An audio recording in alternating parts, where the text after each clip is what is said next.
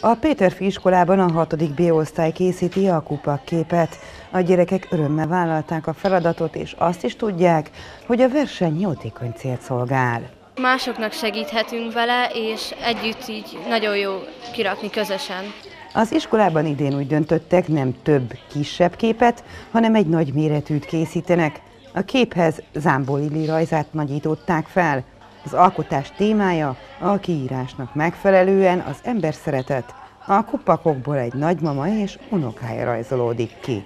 Az egész iskola gyűjti nekünk a kupakokat, lelkesen, illetve gyűjtötte a kupakokat, és most pedig az építésben is, aki tud, szabad idejében részt vesz a kép kirakásában. A Nagykanizsai Család és Gyermekjóléti Központ Segíts, hogy segíthessünk alapítványa a kupakokból származó bevétellel a hátrányos helyzetű családokat támogatja.